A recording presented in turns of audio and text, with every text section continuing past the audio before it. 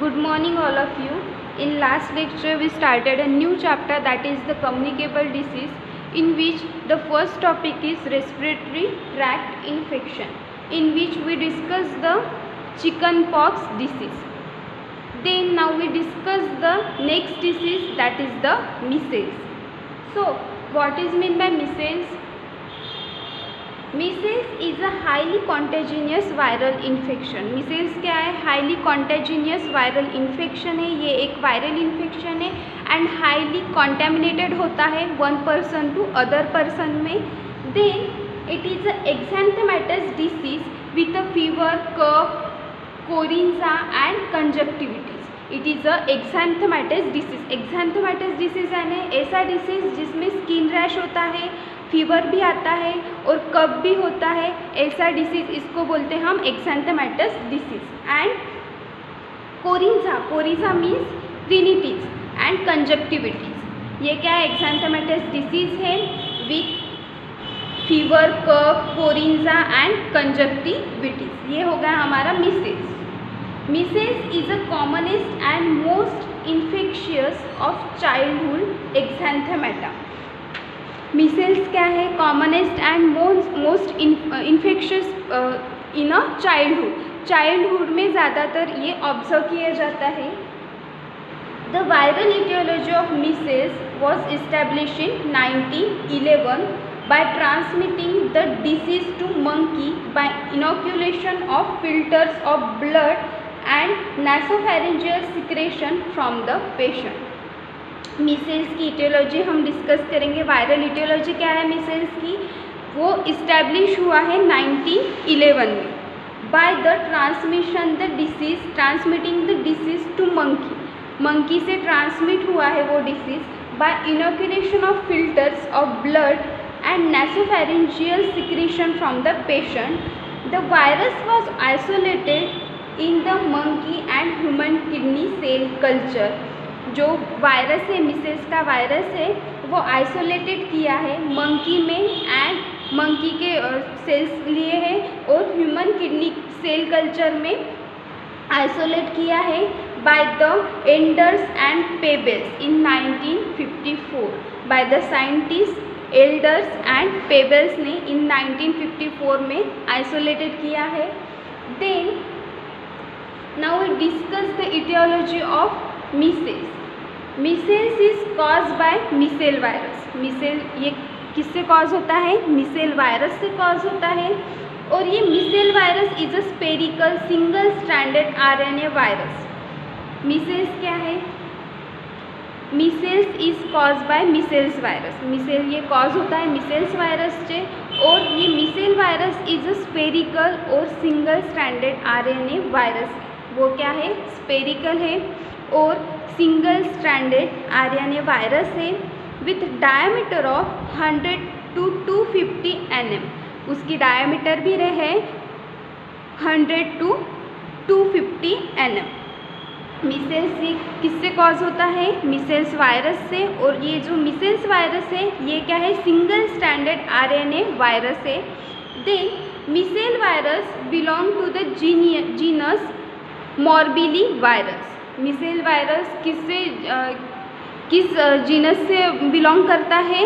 Morbilli virus से और उसकी फैमिली है पैरामिक्सो वायरिडी और उसकी फैमिली है पैरामिक्सो वायरिडी मिसेल्स वायरस क्या है? एक सिंगल स्टैंडर्ड आरएनए वायरस है और which is belong to the genus of morbilli morbilli virus. Genus, कौन सा जीनस है उसका? मॉर्बिली वायरस है and the family is paramyxoviridae and the family is Paramyxoviridae. Then the virus was first isolated in 1954 by the Nobel laureate John F. Enders and Thomson Pebbles. Then measles virus has a two envelope glycoprotein on the viral surface measles क्या है? Measles कब isolated किया है? 1954 में by the three scientist that is the Nobel laureate John then F Enders and Thomas Peebles then the measles virus has two envelop glycoprotein on the viral surface, that is the hemoglutinin and membrane fusion protein. Measles virus क्या है इसमें? Two glycoproteins present रहते हैं viral surface में। तो first is a haemagglutinin and second is membrane fusion protein then then symptoms of measles symptoms क्या है measles के? फीवर आते हैं इसमें। Fever dry cough coryza sore throat inflamed eyes that is a conjunctivitis white spot with a bluish white center on a red background called as copic spot, a skin rash. Symptoms क्या है measles के? First तो एक fever second dry cough fever आता है dry cough होता है then coryza coryza यानी मैंने बताया है रिनिटीज देन सोर थ्रोट होता है then inflamed eyes inflamed eyes यानी क्या होता है कंजक्टिविटी जिसको हम कंजक्टिविटीज़ भी बोलते हैं। Then tiny white spot with bluish white centre on the red background called as copy Koplik spot Koplik spot यानी क्या? वाइट स्पॉट होता है और ब्लूइश वाइट सेंटर में होता है। इन माउथ में जो स्पॉट आता है माउथ में, उसको बोलते हैं हम Koplik spot and the slightly skin rash ये हो गए हमारे सिम्टम्स क्या क्या सिम्टम्स है? Fever dry cough coryza sore throat inflamed eyes then Koplik spot and skin rash then the disease has four stages और फेजेस ये जो डिज़ीज़ है, इसके फोर फेजेस है। तो first phase is incubation period second is prodromal period then third is exanthem period and fourth is reconvalescence period. Now we discuss the stages of disease. The first is incubation period. Incubation period का time कितना होता है यहाँ पर 8 to 10 days incubation period का time कितना होता है 8 to 10 days after expose to the virus after expose to the virus then during this period patient has a no symptoms जब इन इन इंक्यूबेशन पीरियड होता है पेशेंट में का, जब वायरस हमारी बॉडी में एंटर होता है, वो पीरियड रहता है एट टू टेन डेज़ और इसमें during this period any one of the no symptoms in the patient are observe then next is prodromal period prodromal period means last two four days कितना period रहता है? Last two four जो last period होता है two four days का, वो होता है prodromal period in which is marked by fever,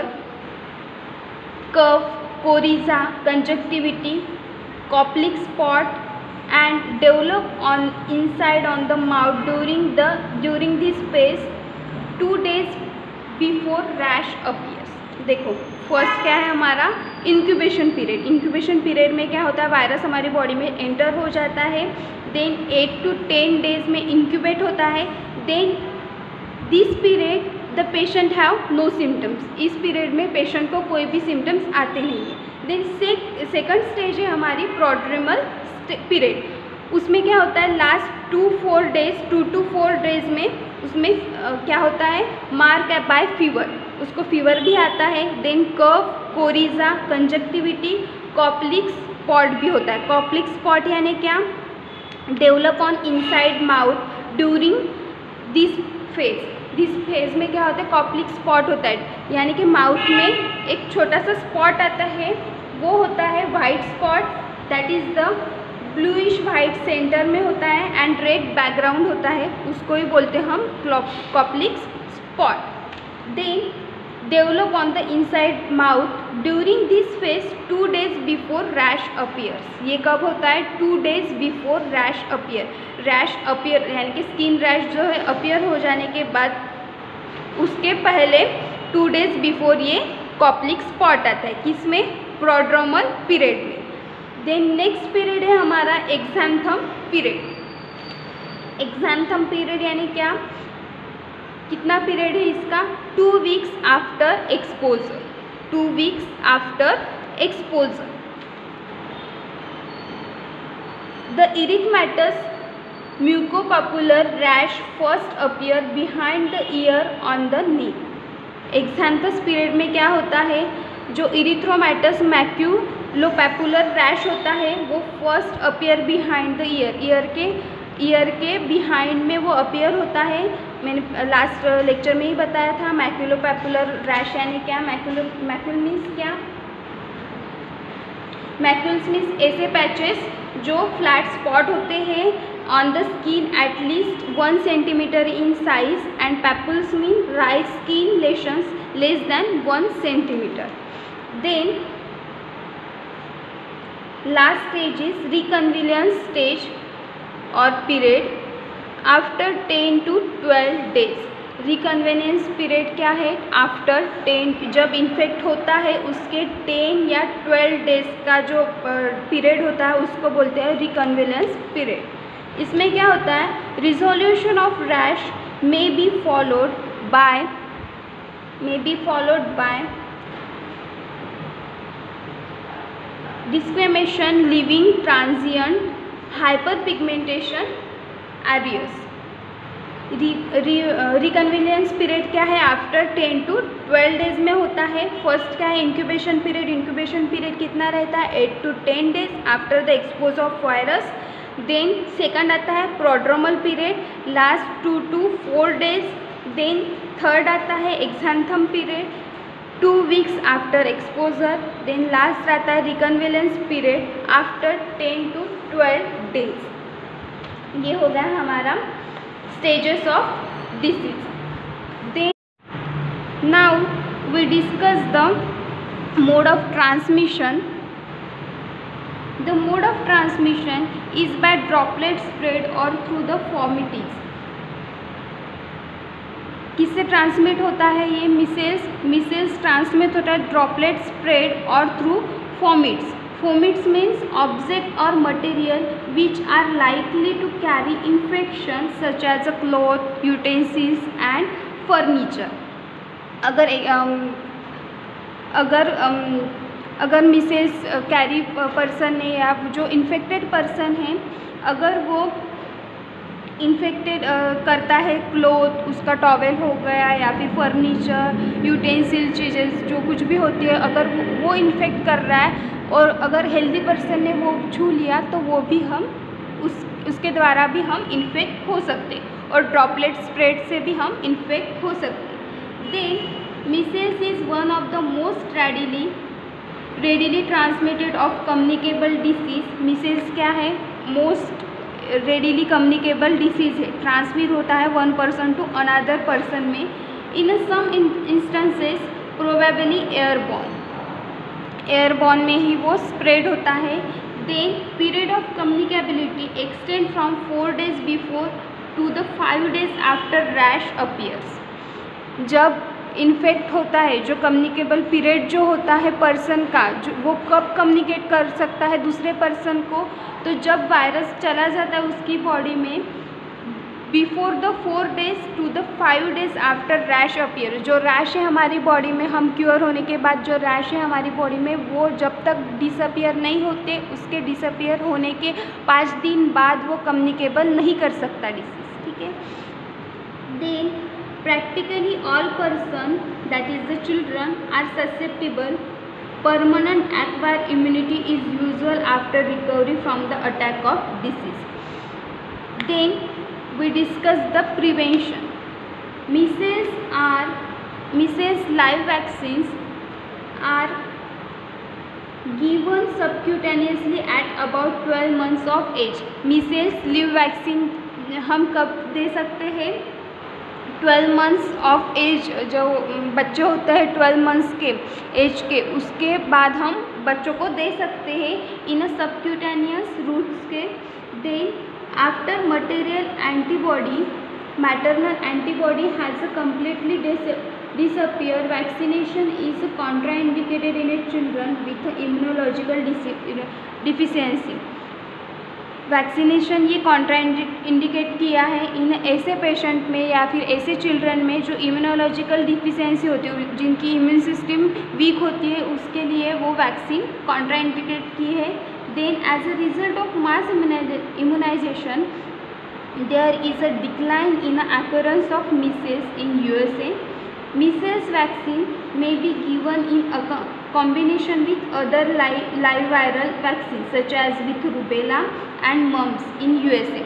USA में क्या किया है मिसेल्स वैक्सीन ये अदर कॉम्बिनेशन में भी दिए जाते हैं कौन से कौन से कॉम्बिनेशन में rubella virus mumps etcetera in a USA में और with smallpox and yellow fever in Africa ये हो गया हमारा measles then we discuss the next disease that is the influenza तो what is influenza influenza is a viral infection that affects mainly the nose throat bronchi and occasionally lungs influenza क्या है? ऐसा viral infection है, वो affect करता है mainly nose को throat को ब्रोंकाई को and occasionally lungs then infection usually last about a week infection कब रहता है? Last about a week and is characterized by sudden onset of high fever and which is characterized by sudden onset of high fever itching muscles that is the pain in muscles headache and severe malaise non-productive cough sore throat and rhinitis तो ये इसके symptoms है influenza क्या है viral infection है and which is a mainly affect in nose throat and bronchi and occasionally affect in a lungs then उसकी symptoms से chills fever sore throat pain pain severe headache coughing and fatigue symptoms क्या क्या है उसके? Chills होता है, उसमें fever भी आता है सोर थ्रोट भी होता है, मसल पेन भी होता है body pain muscle pain high fever आता है देन हेडेक भी होता है कफिंग एंड फटिंग एट्सेट्रा ये हो गए उसके सिम्टम्स देन है इटियोलॉजी या फिर positive agent of influenza virus virus are classified with in the family of orthomyxoviridae influenza virus क्या है? ये क्लासिफाइड होता है विथ इन द फैमिली उसके फैमिली में वो क्लासिफाइड होता है। फैमिली कौन सी उसकी? ऑर्थो मिरिक्सो विरिडी ये आपको याद करना पड़ेगा। ऑर्थो मिरिक्सो विरिडी फैमिली है। On the basis of this family which is classified in three types that is namely as a influenza type A influenza type B and influenza type C these three viruses are antigenally distinct. There is a no cross immunity between them. ये जो three virus है, जो orthomyxoviridae family के on family के on the basis of classification तो ये जो तीन वायरस है influenza type A influenza type B and influenza type C ये एंटीजेनली एंटीजेनिकली डिस्टिंक्ट है, वो एक दूसरे से बिल्कुल डिस्टिंक्ट है। They no cross immunity between them उसमें क्रॉस इम्यूनिटी भी नहीं है बिटवीन देम में। Then pathogenesis of the influenza तो first first is a virus virus is superficial epithelium of respiratory tract. Then inflammation. Then lastly is a necrosis necrosis means death of most or all of the cells in an organ or tissue due to the disease injury or Sphatik of the blood supply necrosis यानी क्या होता है? Due to the due to the disease और कुछ injury और failure of the body supply इसकी वजह से क्या होता है? जो टिश्यू होते हैं हमारी बॉडी में, उसकी डेथ हो जाती है। इसको ही बोलते हैं हम necrosis so the influenza is a acute highly communicable disease characterize by onset with fever of one to six days duration then उसकी डिस्कस करेंगे हम मोड ऑफ़ एक्शन उसकी मोड ऑफ़ एक्शन है influenza is a acute highly communicable disease ये क्या है? Highly communicable disease है influenza they characterize by high high fever of one to six day duration उसका उसका कैरेक्टर यानी कि सिम्टम्स क्या है? फीवर होता है वन टू सिक्स डेज़ के लिए। देन एचेस और पेन इन बैक लेग्स और शोल्डर पेन होता है पेन या फिर एचेस होता है इन बैक में लेग्स में एंड शोल्डर में.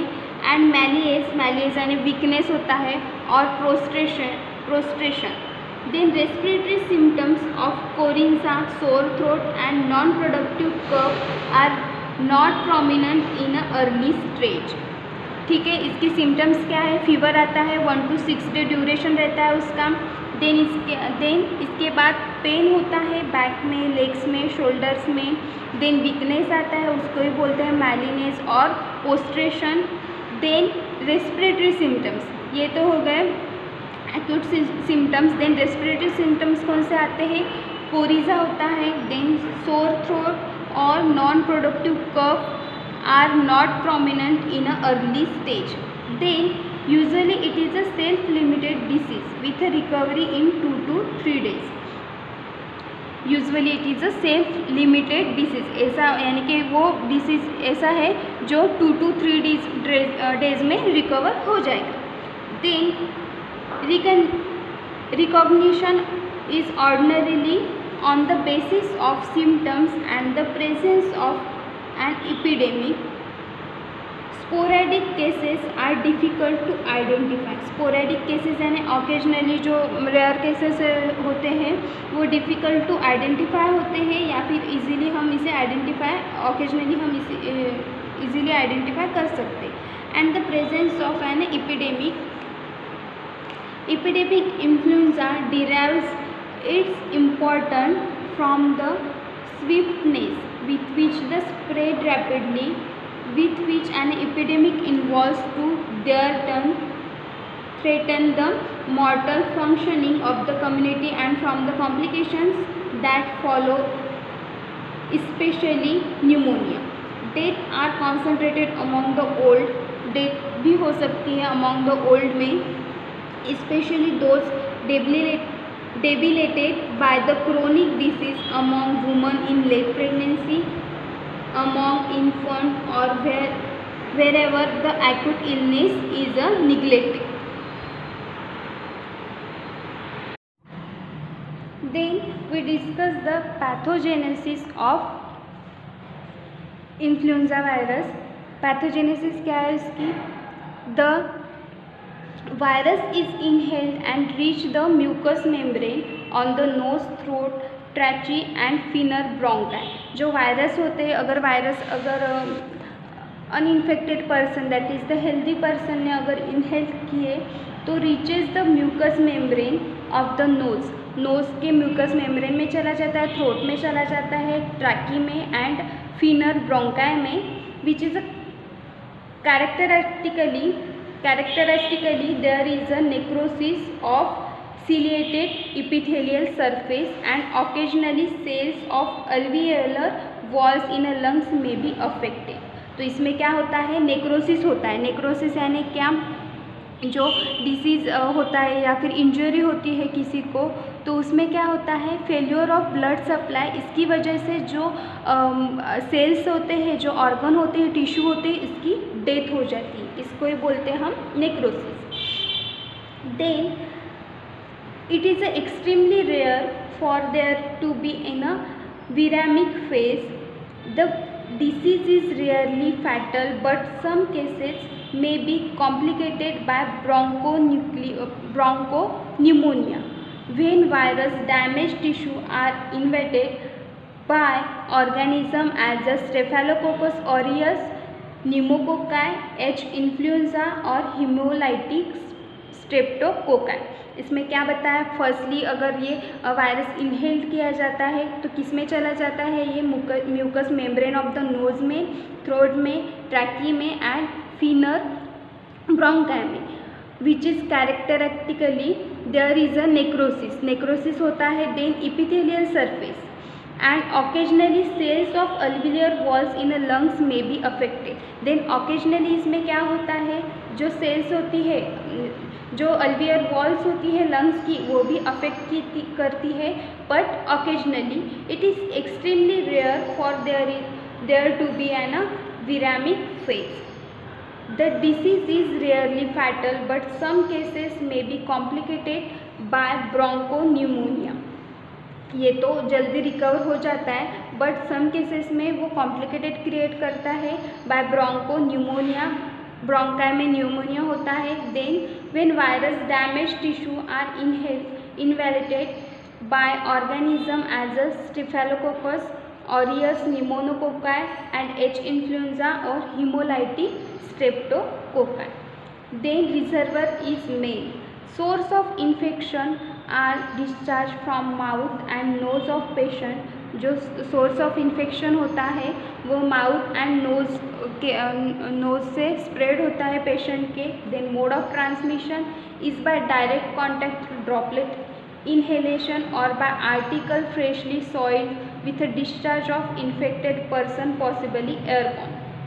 ये एयरबॉर्न के थ्रू भी फैल सकता है या फिर direct contact through the droplet inhalation जो ड्रॉपलेट होते हैं इन्फेक्टेड पर्सन के, अगर एयरबॉर्न की वजह से वो रेयरली इनहेल किए जाते हैं तो उससे भी हम इससे भी ट्रांसमिटेड हो सकता है ये then of all viruses influenza virus are most highly communicable spread is faster than any other infectious disease all other viruses से, यानी कि ऑल अदर डिसीज से डिसीजेज से इन्फ्लुएंजा वायरस क्या है? Mostly most highly communicable disease है and spread होता है faster than the other infectious disease से.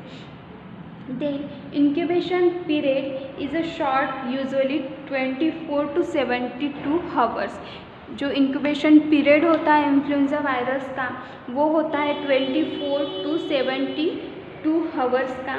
Then period of communicability is limited to a brief period before clinical onset and week and a one week thereafter देखो जो period होता है communicable का, जो यानी कि वन पर्सन से वन पर्सन से अदर पर्सन का अदर पर्सन में जो कम्युनिकेबल होता है डिसीज़ का, उसका पीरियड है, period before clinical onset and one week thereafter जब हम, हमको सिम्टम्स आते हैं तब से तो वन वीक तक वो यानी कि कम्युनिकेबल कर सकता है disease then susceptibility in a greatest in childhood.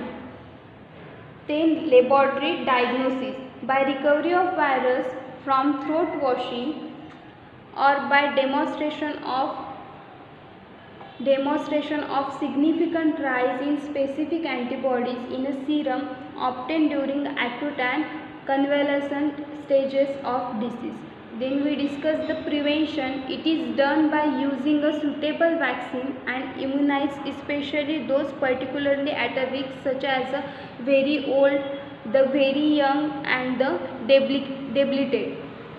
देखो क्या है प्रिवेंशन कैसे किए जा, जा प्रिवेंशन कैसे किया जा, जाएगा फिर इस डिसीज़ का सुटेबल वैक्सीन लेकर जो जो particularly risk such as a very old यानी कि जो बहुत ज़्यादा ओल्ड है, बहुत ज़्यादा यंग है, उसमें ज़्यादा होता है then the vaccine most commonly use is a purified and concentrated suspension of influenza virus A and B grown in a chick embryo and inactivated with a formal formal formaldehyde ये जो vaccine है most commonly use is a purified and concentrated suspension होता है। Purified and concentrated suspension होता है influenza virus A and B का। वो grow किए जाते हैं चिक एम्ब्रियो में। वो ग्रो किए जाते हैं चिक एम्ब्रियो में and inactivated with a formaldehyde then उसको इनएक्टिवेटेड किया जाता है फॉर्मल्डिहाइड में। Then a standard dose in inoculated subcutaneously and booster dose is given after the interval of 4 to 8 weeks.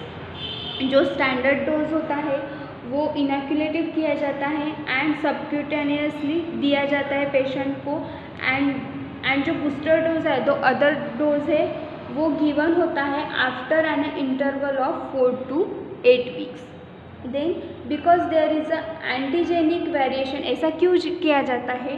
तो एंटीजेनिक वेरिएशन होता है इन अ वायरस, वायरसेस में। It is a rather difficult to maintain a vaccine covering all variants controlling trials of influenza virus vaccine indicate that the moderate degree of protection is attainable ये हो गया हमारा prevention तो आज के lecture में हमने कौन से कौन से डिसीज ये किए?